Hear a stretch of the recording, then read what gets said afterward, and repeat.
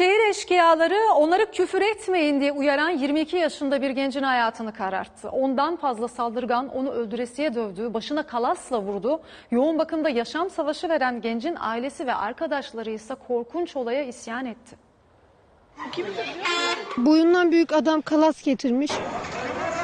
Arkamı döndüğümde arkadaşım yerde yatıyordu kanlar içinde. Kardeşimin durumu e, kritik şu an.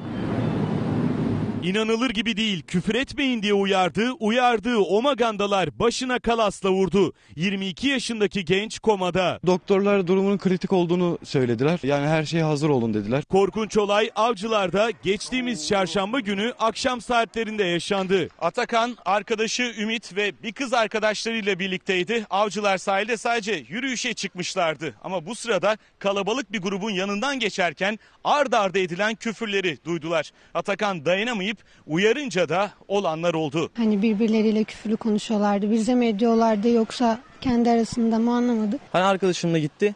Güzel bir şekilde uyardığını ben gördüm. Kibar bir çocuktu zaten kendisi. Şehir magandaları küfür etmeyin uyarısına kulak asmadı. Hatta uyardığı için Atakan'ı aralarına alıp dövmeye başladı. Arkadaşları kurtarmaya çalıştı, başaramadı. Onlar da saldırıya uğradı. Kayanın arasına sıkıştım ben zaten. Kafama darbeler aldım kalasla. Boyundan büyük adam kalas getirmiş. İlk önce Ümit'e vurdu. Arkamı döndüğümde arkadaşım yerde yatıyordu kanlar içinde. Sonra Atakan'a bir anda yerde gördük.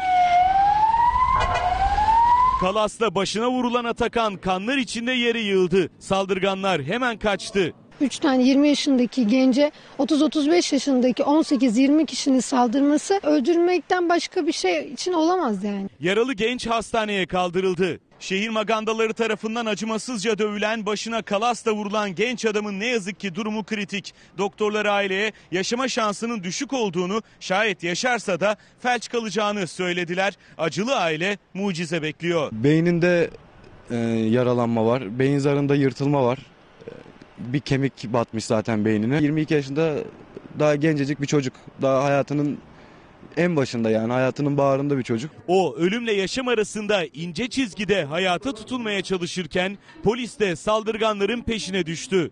Bu vurulan kafaya darbe direkt öldürmeye teşebbüs. Bilmiyorum ya ben kanım donuyor düşündükçe.